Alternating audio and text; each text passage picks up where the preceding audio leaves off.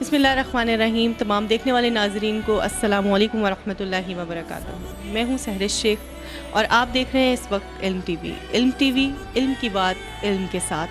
اللہ تبارک و تعالیٰ اس نئے چینل کو اپنی رحمتوں اور اپنی برکتوں سے اتنی ترقی دے کہ یہاں پر آنے والے اپنے آپ کو علم کے سمندر میں ڈبو کر جائیں اور آنے سے ان کے علم میں اضافہ ہو اور جو کوئی اس چینل کو دیکھے، اللہ تبارک و تعالیٰ اس کے ذوق میں بھی مزید اضافہ کرے۔ انہی نیک دعاؤں اور خواہشات کے ساتھ کہ اللہ تعالیٰ علم چینل کو دن دگنی، رات چوکنی ترقی دے۔ آمین۔